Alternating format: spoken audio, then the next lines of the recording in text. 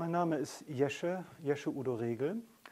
Und dieser Vorname Jesche ist ein tibetisches Wort. Er ist mir geblieben aus meinem Ordinationsnamen. Ich bin im Alter von 22 Jahren zum buddhistischen Mönch geweiht worden. Das war 1980 in einem Tempel in Woodstock, New York. Und danach bin ich wieder nach Deutschland gekommen und habe hier geholfen, verschiedene Meditationszentren für eine tibetisch-buddhistische Richtung einzurichten, aufzubauen. Das war das Schloss Wachendorf, Kamala-Schiller-Institut in der Eifel und dann später ein Retreat-Zentrum, wie wir sagen, im östlichen Windecker-Ländchen.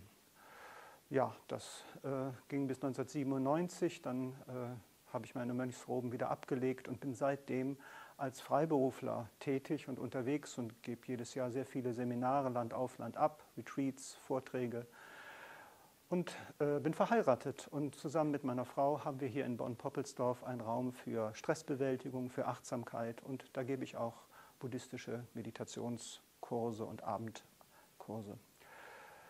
Das wäre, was ich ein bisschen über mich sagen kann und ähm, vielleicht gibt es ja mal eine Gelegenheit, sich in Persona irgendwo zu begegnen und miteinander zu lernen, zu üben, zu meditieren. Es würde mich freuen. Dankeschön.